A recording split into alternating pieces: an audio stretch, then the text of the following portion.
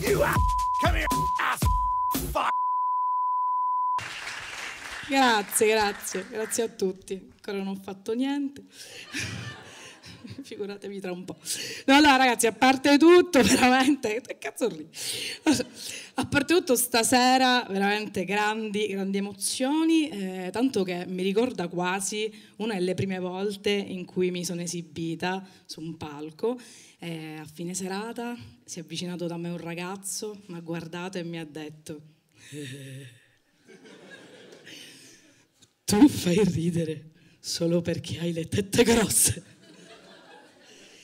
Ora, io non vi nascondo che mi sarebbe piaciuto intrattenermi con lui qualche altro minuto, no? Per indagare questo mondo fatato, a metà fra la sai l'ultima e Pornhub, che è il suo cervello. Ma non l'ho fatto, non l'ho fatto. Ho tagliato corto e gli ho detto, "Ah, se ti hanno fatto ridere le mie tette grosse, dovresti vedere il mio pene.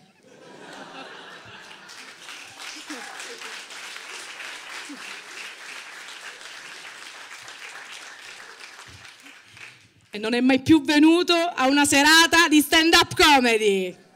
Meno uno! Non ringraziatemi comunque. D'altronde, da grandi tette derivano grandi risate. Allora, non avete sentito un cazzo poco fa.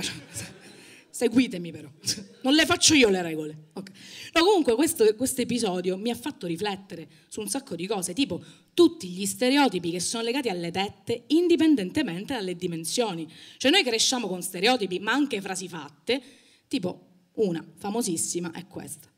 Il seno perfetto entra dentro una coppa di champagne.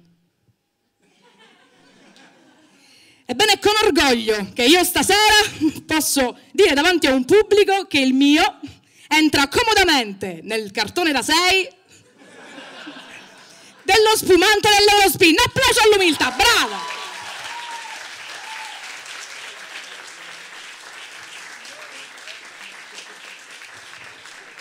Grazie.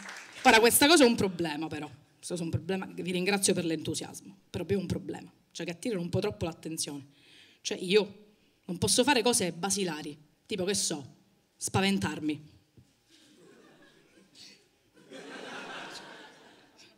Vi ho destabilizzato. Dovreste vedere il mio pene! No.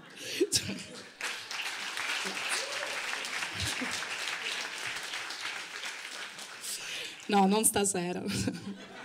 Sono timida. No, comunque, veramente. Cioè, no, la, il riassunto della mia vita è tipo questo. Io sto camminando in mezzo alla strada, ogni tanto magari ho una maglietta un po' più scollata, e nove volte su dieci mi ferma lui, minchia il simpaticone. Quello che mi guarda e per salutarmi mi chiede, ehi, come state? E io magari in quel momento sono distratta. Quindi lo guardo e dico, ma come state chi che sono solo io?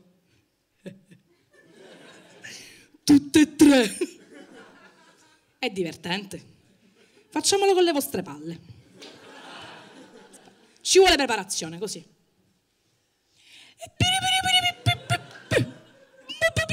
Ma assurdo, cioè aspetta. Credevo che il coglione fosse uno, invece siete tre.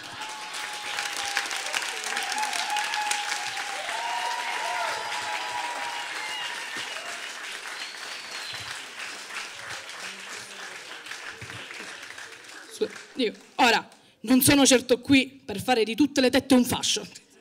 Non è mia intenzione, però io mi sono dovuta documentare, cioè mi sono chiesta, ma perché alcuni uomini sono fissati con le tette? E ho visto che c'è uno studio, uno studio che dice che gli uomini sono fissati con le tette perché inconsciamente ricercano la sensazione dell'allattamento materno.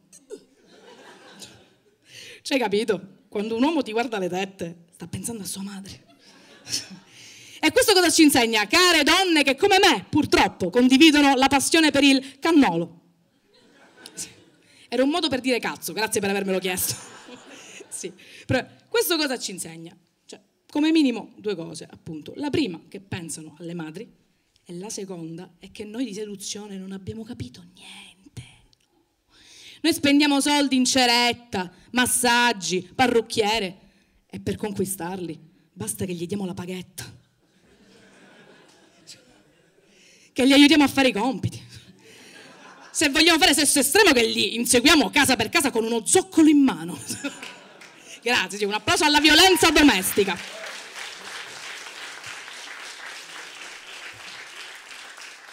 Bene, adesso eh, io mi sono un attimo sfogata eh, in questi minuti, quindi diciamo vi ringrazio. Eh, adesso che vi ho anche traumatizzato con l'immagine delle mie tette, è vostra madre. Eh, il mio compito qui è finito e ce ne possiamo andare. Tutte e tre.